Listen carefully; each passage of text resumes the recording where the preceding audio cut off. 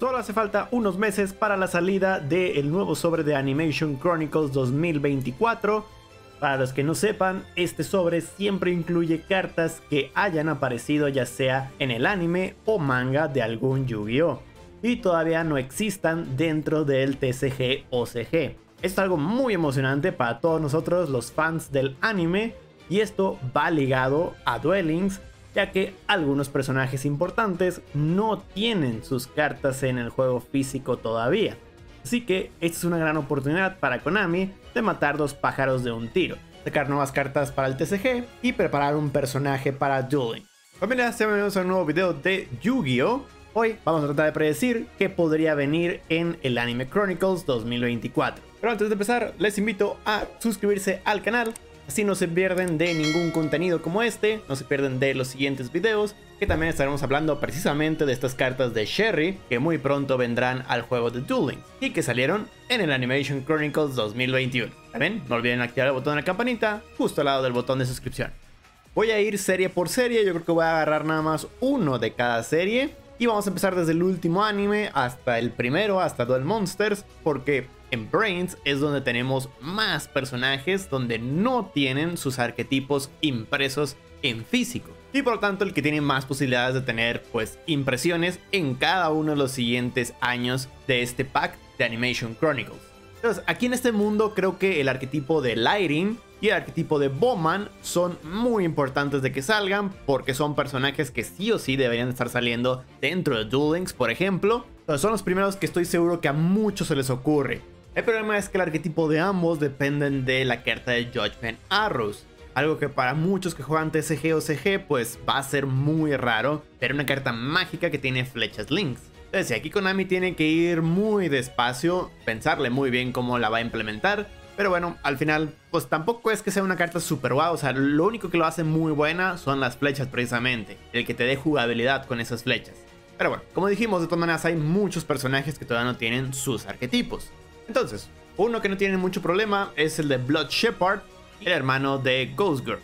Y este tiene un arquetipo de drones, los cuales hacen mucho daño de efecto. Y algunas cartas que podrían estar un poco rotas, pero recuerden, esto es para que salgan en el TSG. Ya en Duel Links salen eh, partidos a la mitad del daño. Aparte que si hay alguna carta muy poderosa para el formato, pues pueden no sacarla simplemente, sacarla para un futuro. Entonces aquí más que nada tenemos que pensar en si el arquetipo puede salir en TCG o CG. Ya va, es que hay tantas cosas rotas en TCG y OCG que al menos que haga un OTK esta cosa fácilmente sería la única posibilidad para que no salga alguna carta. Pero igual, pueden hacerlo. Pueden simplemente sacar todo lo demás, ya que el juego siga avanzando, sacan la última carta o las últimas 2-3 cartas. Y aquí también voy a agregar al personaje de Windy, ya que este sí tiene un poco más de cartas, a diferencia de Blood Shepard, que parecía tener muy poquitas cartas. Este usa los Storm Riders, los Tormenta Jinetes, que está algo interesante su arquetipo, ya que no usa cartas de magia y trampa, casi todos sus monstruos depende de que no tengan cartas de magia y trampa, y puede limpiar el back row del oponente, entonces básicamente haciendo que los dos tengan nada más monstruos. Pero aparte, por ejemplo, este eh, también puede de que poner a un monstruo como si fuera una carta de magia trampa. Entonces deshacerse de él básicamente. A uno de los monstruos adversarios. Entonces creo que este para el TCG estaría un poco más interesante como arquetipo nuevo y así como Blood Shepard, si tuviera alguna carta que podría causar problemas, que podría causar algún problema, pues simplemente no la sacan, lo dejan para un futuro y listo, sacan lo demás del arquetipo.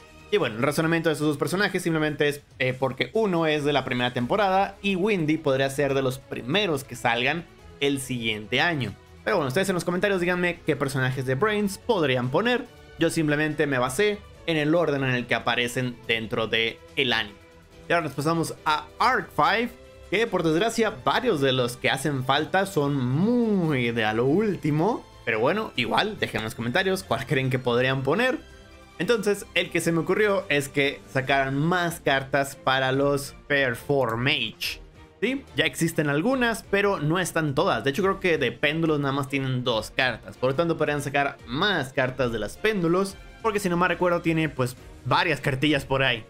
Entonces, sí, así el personaje de Dennis tendría más soporte. Digo que ya ahorita con las que tienen, podrían sacarlo sin las cartas péndulos simplemente. Y así salen esta Animation Chronicles, ya podrían tener otra caja para el futuro. simplemente pensando en más soporte para los personajes en sí. Pasándonos a Sexal, se nos ocurren más variants, más soporte de los variants, ya sea para Durbe o para Vector en sí. Ambos tienen varias de sus cartas ya, pero hacen falta algunas, por lo tanto podrían sacar dicho soporte. Bueno, me refiero al TCG o CG.